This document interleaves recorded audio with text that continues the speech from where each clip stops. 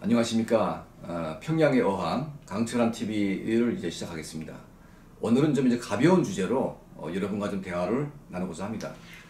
어, 제가 이제 그 얼마 전에 어, 저희 이제 그 20대 그 직원들과 함께 이제 대화를 나누다가 요즘에 이제 그 남북 드라마, 북한 드라마 가운데 아주 핫, 핫, 핫한 게 있다. 그래서 그게 뭐냐 했더니 사랑의 불시착이라고 하는 이제 드라마래요.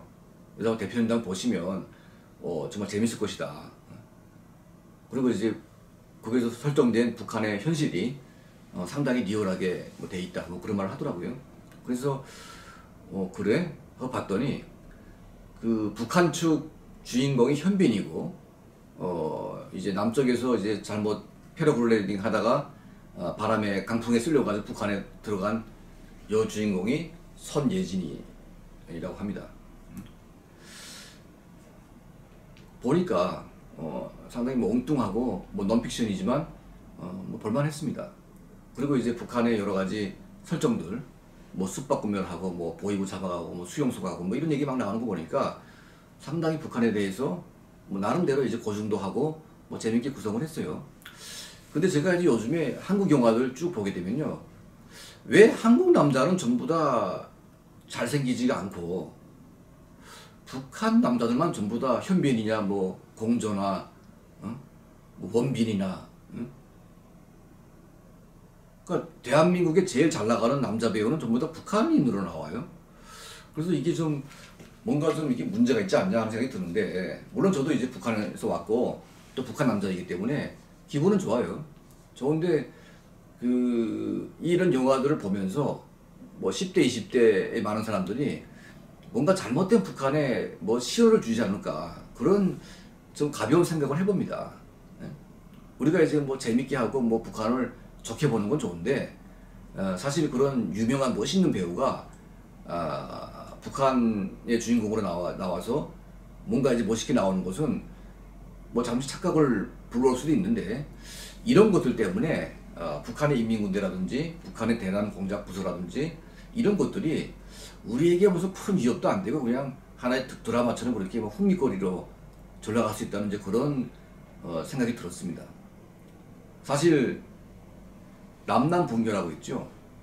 휴전선 분계선에서 어, 북한 인민군 병사들 저희 저희 친구 후배들도 어, 군대 나가서 이제 휴전선에 갔던 애들이 있는데 얘네들이 말 들어보게 되면 북한 군인들은 전부 다 키가 작고 북한의 국군들은 전부 다 키가 너무 커가지고 상당히 위압감도 느끼고 그리고 남쪽 애들이 너무 잘생겼더라.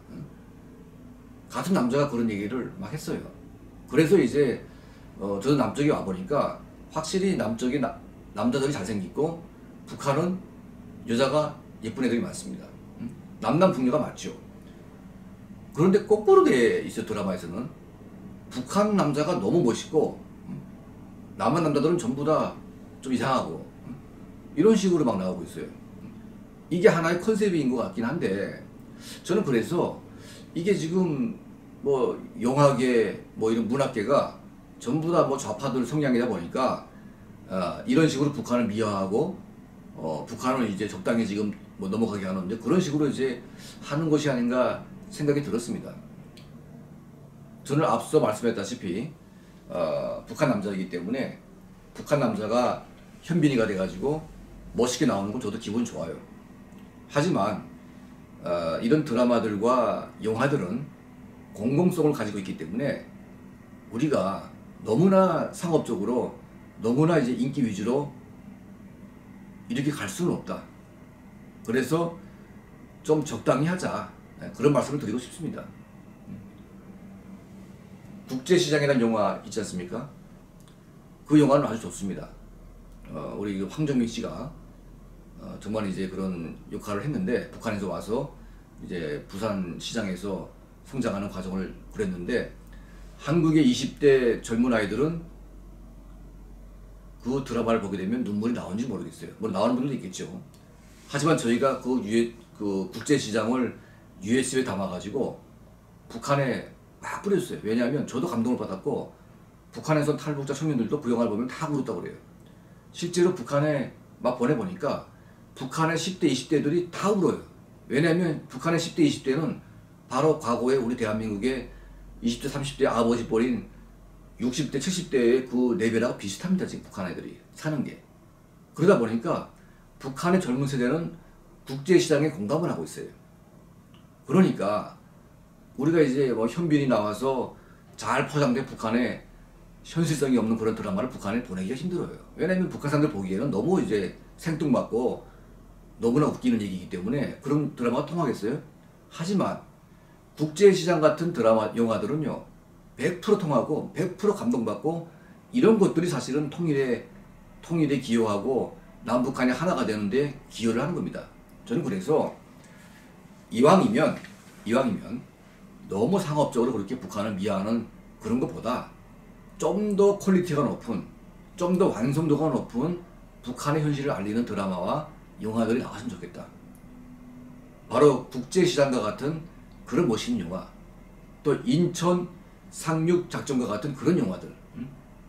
이런 영화들이 많이 나와서 많이 나와서 북한에 좀 대량으로 보내서 북한 사람들이 제대로 인식을 하고 판단을 할 수 있게끔 그런 문화적인 힘이 좀 나왔으면 좋겠습니다. 저는 이제 우리 현빈 씨 참 좋아합니다. 어, 같은 남자지만 잘생기고 아주 멋있어요. 음. 그리고 그 현빈 씨가 북한에 우리 뭐 인민군 장교로 나오는 거, 뭐 저도 북한 사람이기 때문에 기분은 좋아요. 하지만 어, 그렇게 뭐 잠시 기분 좋은 거, 또 잠시 상업적인 거 이런 걸 떠나서 좀 이제는 좀 우리가 진지하게 남북 관계와 남북 문제는 좀 바라볼 필요가 있겠다. 그런 좀 생각을 하게 됩니다. 감사합니다.